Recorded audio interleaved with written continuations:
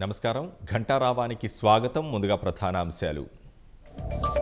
భారీ నష్టాల్లో కొనసాగుతున్న స్టాక్ మార్కెట్లు. ఎనిమిది వందల పాయింట్లకు పైగా పతనమైన సెన్సెక్స్.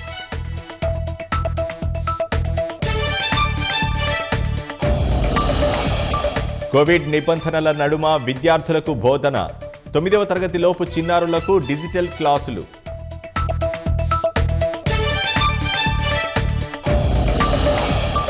కరోనా చికిత్సలో మరో ముందడుగు ప్లాస్మాను పౌడర్గా మార్చిన ఈఎస్ఐ వైద్యులు.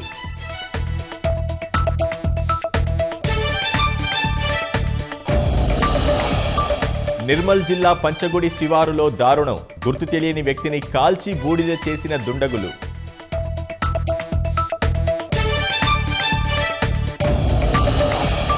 ఢిల్లీ ఘటనపై హోంమంత్రి అమిత్ షా ఉన్నత స్థాయి సమీక్ష. విధ్వంసకారులపై కఠిన చర్యలు తీసుకోవాలని ఆదేశం.